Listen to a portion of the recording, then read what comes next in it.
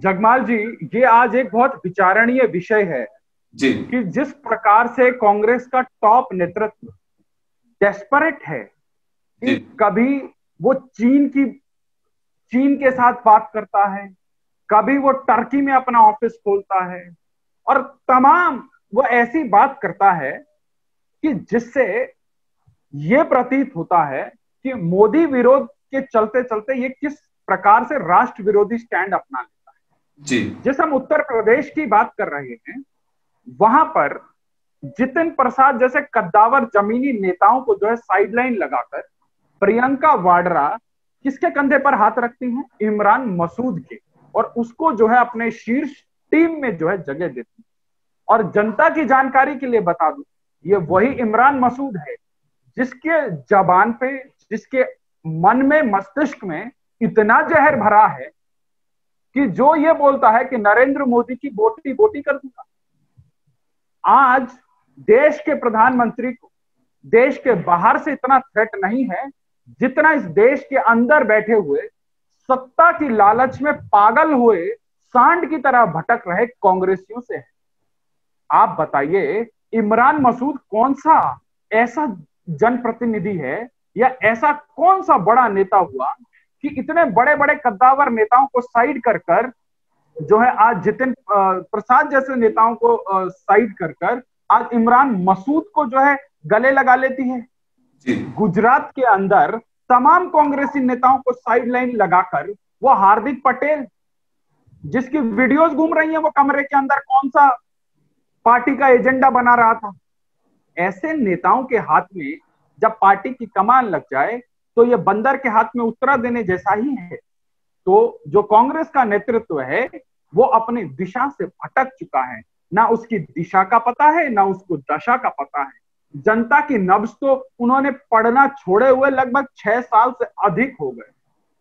तो जब पार्टी का शीर्ष नेतृत्व या किसी हवाई जहाज़ का जब इंजन फेल हो जाता है तो उस हवाई जहाज़ को गिरने से कोई नहीं बचा सकता। तो कांग्रेस भी उसी स्थिति में है। आज कांग्रेस को देखकर आप राम राम बोल सकते हो आप बचा नहीं सकते आप कंधा नहीं दे सकते।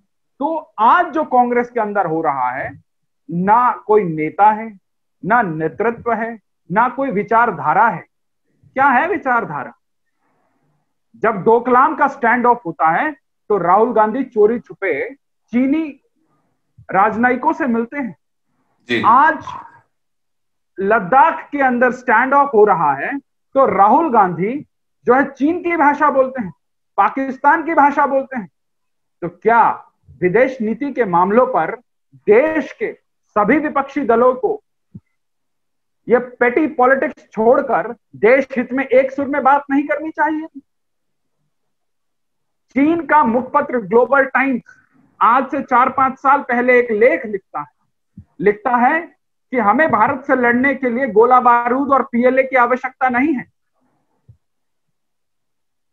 हम तो वहाँ एक जो है अनरेस्ट पैदा करके एक सामाजिक अनरेस्ट पैदा करके जो है जीत सकते हैं। अभी कुछ दिनों पहले हुए इनकम टैक्स के ताबड़तोड़ छापों से चीनी नागरिक और कुछ भारतीय लोगों की सम्मिलितता में एक हज़ार करोड़ से अधिक की हवाला मनी हवाला रैकेट का पर्दाफाश हुआ। तो आप क्या समझते हैं? कि क्या बड़े लोगों के संरक्षण के बिना ये सब कुछ हो पा रहा था? जिस देश में सबसे पुरानी पार्टी का पूर्व अध्यक्ष और उनकी माँ तो वर्तमान अध्यक्षा है वो चीन की बोली बोलने लग जाएँ तो निश्चित रूप से देश खतरे में है। देश का प्रधानमंत्री खतरे में है। अभी तीन दिन पहले एक चैनल ने खुलासा किया कि देश के प्रधानमंत्री के ऊपर जान का खतरा है। मैं भी मानता हूँ उनके ऊपर जान का खतरा है, क्योंकि जिस प्रकार के रिस्क वाले काम वो कर रहे हैं, उन्होंने इस देश के अंदर लूट माच, लूट मार मचा रहे आक्रांताओं के, रात की नींद उड़ा दी है, दिन का चैन उड़ा दिया जो लोग पिछले साठ, सत्तर सालों से इस देश की संपत्ति को अपनी बाप की जागीर समझ करके करोड़ों रुपया, अरबों रुपया उठा रहे थे, उड़ा रहे थे, आप बताइए आज इस देश के लोग, देश के अंदर कांग्रेस पार्टी के लोग अंबानी और अदानी की सरकार कहते हुए जो है, जुमले बनाते हैं, मज़ाक बनाते हैं। पर आज देश ये सवाल पूछता है जगमाल जी, वो लोग तो उद्योगपति थे, उन्होंने उद्यम करके पैसा कमाया। देश जानना चाहता है कि सोनिया गांधी और राहुल गांधी का कौन सा व्यापार है? कौन से उद्योग धंधे चलाते हैं जो हज़ारों करोड़ की संपत्ति उनके पास तो अब ये हिपोक्रेसी और देश की जनता को बरगलाने, बहकाने का काम नहीं चलेगा। आज इस देश का भले भले ही मेन स्ट्रीम मीडिया तुम्हारे इशारों पर नाचता हो, तुम्हारे नैरेटिव सेट करने का प्रयास करता हो, देश के अंदर एक नकारात्मक माहौल बनाने की कोशिश करता हो, कमाल की हिपोक्रेसी है। पूरे विश्व के अंदर अर्थव्यवस्था चरमराई हुई है। पूरे विश्व के लिए अर्थव्यवस्था चरमराने का जो बेसिक कारण है, वो कोरोना है। परंतु भारत के अंदर इस देश के तमाम बुद्धिजीवी नरेंद्र मोदी को उसका कारण बताते हैं। क्या भारत आज विश्व में दूसरी या तीसरी बड़ी अर्थव्यवस्था नहीं है जो सबसे ज़्यादा प्रभावित हुई है? सबसे पहला और प्रभावी लॉकडाउन इस देश ने किया नरेंद्र मोदी के नेतृत्व में। जब पूरा देश, पूरे देश के उद्यम, पूरे देश के जो है उद्योग धंधे स्टैंड स्टिल हो जाएँ तो जीडीपी का गिरना जीडीपी का नकारात्मक हो जाना स्वाभाविक है। देश की जनता समझ रही। परंतु इस कांग्रेस के लोग और हमारे पप्पू भैया, पता नहीं उनका बौद्धिक विकास कब होगा। नरेंद्र मोदी जी ने लोकसभा की पटल पर एक बहुत अच्छी बात कही थी, जो मैं आपके चैनल पर आज दोहराना चाहता हूँ कि कुछ लोगों की उम्र तो बढ़ जाती है, परंतु बुद्धि नहीं बढ़ती। तो आज वही हाल कांग्रेस और उनके नेतृत्व के साथ हो रहा है। कांग्रेस पार्टी तो बूढ़ी हो चली। कांग्रेस के नेता भी जो है उम्र में बड़े हो रहे हैं। परंतु उनकी बुद्धि का विकास रुक गया। उनकी बुद्धि का विकास का रुकना देश के लिए तो चिंताजनक है ही, परंतु इतना भी चिंताजनक नहीं है क्योंकि आज देश का नेतृत्व जो है सुरक्षित हाथों में है।